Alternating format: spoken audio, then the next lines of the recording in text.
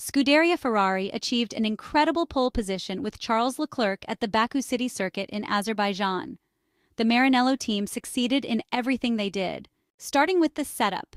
The base setup developed back at the factory was already very good when the two cars hit the track on Friday afternoon. However, the chosen compromise had some shortcomings in slow corners because the SF24's grip at low speeds was not up to the mark. Nevertheless, Ferrari reacted brilliantly by adjusting the ride height, which provided the necessary grip to improve the performance of the Italian car. Ferrari had shown from the first free practice session that it could be a contender in qualifying, and throughout the weekend, up until Q2, it was the fastest car in the first sector. The trend was more or less this SF24 was the best in the first sector. Red Bull was clearly superior in Sector 2, and Sector 3 was a battle between Mercedes and Aston Martin. Charles Leclerc and Carlos Sainz, but especially the Monegasque driver, were very fast in the first sector but then lost about a tenth to the Max Verstappen. Sergio Perez duo in the second sector and struggled in the final part.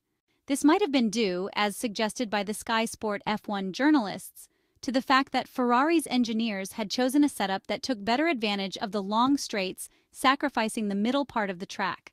However, this explanation didn't fully convince us. Just think about Monaco, a track where Charles Leclerc won this year. Why sacrifice Ferrari's strength in slow corners, one of the few strong points of the SF24 this year? Something didn't add up.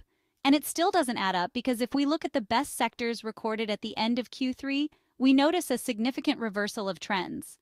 At the end of qualifying, Sergio Perez was the fastest in the first sector, clocking 35.649, Charles 35.702, Piastri 35.782.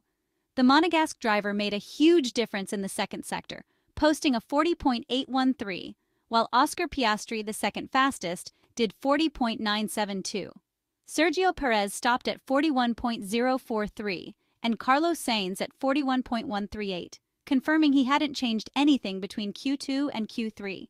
The third sector went to Fernando Alonso's Aston Martin with 24.524, with Charles Leclerc posting a 24.825, Oscar Piastri 24.803, and Sergio Perez 24.966. With setups locked for the entire session, what could explain this change? In our opinion, Charles Leclerc may have adjusted something in tire management during his fast lap in Q3. The Monegasque may have decided to sacrifice the first sector to have more grip in the central part and towards the end of the lap in the final sector. Red Bull, on the other hand, took the opposite approach, being more competitive at the start and less so in the final stretch. Whatever Charles managed to do, it allowed him to beat his rivals in the most unexpected sector, S2, which had been Red Bull's strength up until Q3. Additionally, it's worth mentioning Ferrari's handling of the Pirelli tires. The front end activation was perfect. This was an important factor because Baku's layout favored cooling of the tires, particularly at the front, creating a thermal imbalance between the two axles. This phenomenon, in turn, significantly lowers the performance of an F1 car. This is exactly what happened to Mercedes and, to a lesser extent, Red Bull. Without further ado, let's now analyze the telemetry and note where Ferrari made the difference. Let's examine the comparison between the telemetry of Charles Leclerc's pole lap and Oscar Piastri's lap, who was 0.321 seconds behind after a Q3 session completely dominated by the Maranello team. The Monegasque driver put together the perfect lap, gaining on the Australian in every sector, in every single corner except for turn 3, where he lifted off much earlier than car number 81, and turn 15, Charles Leclerc carried more speed through the middle of the corner, managing the pedals optimally, as has been mentioned many times. In fact, he is the only driver on the grid who adopts a very particular driving style. This refers to the so-called trailing, semi-open throttle, allowing for a balanced weight distribution while cornering and immediately applying all the car's power, keeping the engine revs slightly higher to improve traction on exit. This driving style also helps combat the oversteer that plagued Ferrari during all free practice sessions. When braking, the car's weight shifts entirely to the front, lightening the rear. Keeping the throttle semi-open allows for slightly loading the rear, resulting in better balance during the corner and on exit. Leclerc made a significant difference, particularly in turn 16, where he showed superior performance compared to Oscar Piastri.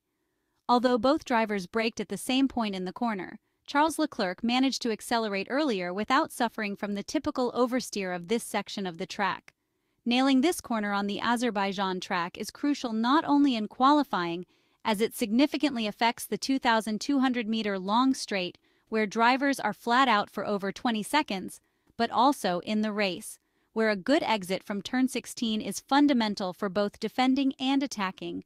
Ferrari focused on this detail with great care, thanks to the Monegasque driver, providing Charles Leclerc with an optimal setup for both the qualifying session and today's race, where managing tire degradation will be key. The Monegasque driver expressed his appreciation for the car, finding it comfortable from the start and only needing to make minor adjustments to the setup. The aerodynamic load used seems to be the right one. Ferrari opted for the same rear wing specification used at Spa, slightly less downforce than McLaren, which provides an increase in speed of about 3 km per hour on the main straight and every acceleration zone. This could prove crucial for defense in the race, in addition to Charles Leclerc's excellent tire management in recent races. The opposite happened at Red Bull, who, from the first free practice sessions, seemed to struggle in the last sector. On Friday, this was mainly due to the fact that the Honda engine was significantly underpowered, but by FP3 it was clear that something was wrong in turn 16, where Max was losing 0.200 s to the Monegasque driver. As the Dutchman himself said in post-qualifying interviews, between the final free practice session and qualifying, they tried to make some changes to the car's setup, probably adjusting the ride height, which only further unbalanced the car. The Dutch driver even complained about bouncing under braking in certain parts of the track. Based on data relating to the G-force stats, we can observe that Red Bull struggled a lot under braking, unlike Ferrari, where Charles Leclerc is always able to brake a few meters later and generate more force in deceleration. Despite everything, Red Bull continues to be very competitive in traction, being once again, as seen in FP2 and FP3, the team that can keep the throttle fully open for the longest time throughout the lap, an excellent indicator of how competitive the car is in terms of traction. Since 2021, the Ferrari driver has been the Prince of Baku, at least on Saturdays, as the story has always changed on Sundays so far. Due to an error in the morning, Charles Leclerc wasn't able to test the race pace of his SF24 during the second free practice session. Based on the work done by Carlos Sainz, we could expect good competitiveness, but for the reasons mentioned yesterday, namely the data collected from Friday's race pace, we don't exactly know what to expect from the others.